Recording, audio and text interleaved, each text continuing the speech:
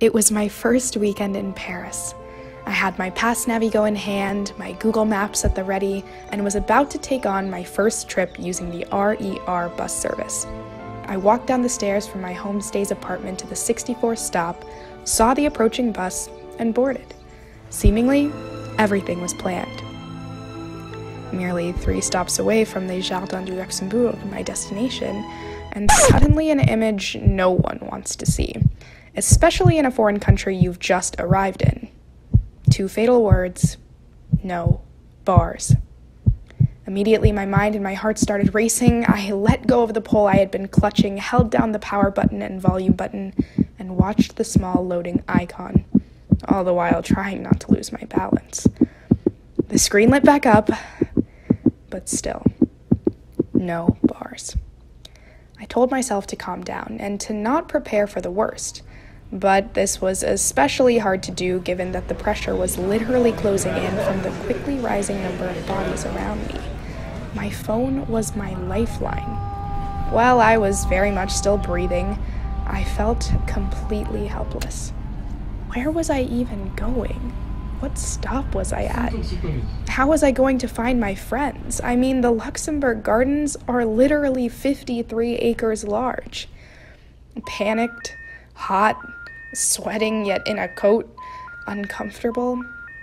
I was crippled by fear, partly due to the physical lostness, but mostly due to the fact that this meant I had to be alone with my own thoughts. Much worse than the latter, trust me. Despite being in one of the most beautiful places on earth, I could not for a second pause to appreciate my surroundings. I was too busy wandering the garden, searching and praying that I would see a familiar face. After 30 desperate minutes of trying to join random Wi Fi networks and close to giving up, there they were. And I could finally breathe easy again. Flash forward five weeks in. While to the onlooker I may have looked exactly the same, I was transformed. Picture this I'm walking briskly, headphones in, a new French bop blasting in my ears. Yet my phone is far from reach, nestled into a deep hole in the pocket of my coat. I know exactly which metro line I'm taking and I'm tuned into my mission. Getting to check off another item on my solo food tour list L'As du Falafel, a hole in the wall Middle Eastern eatery renowned for their food. After receiving the falafel, I wander about Le Marais, window shopping, taking in my surroundings, and finally settle upon a lone bench.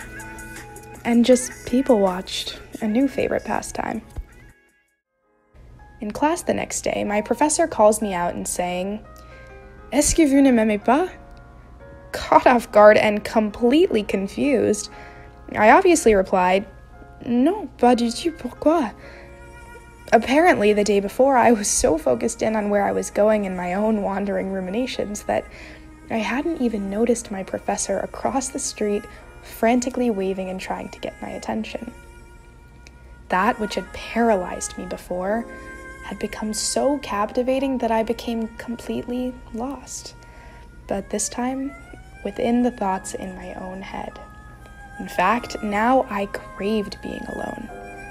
Amongst other things, maybe the most important lesson I learned in my time abroad how to appreciate the company of just me.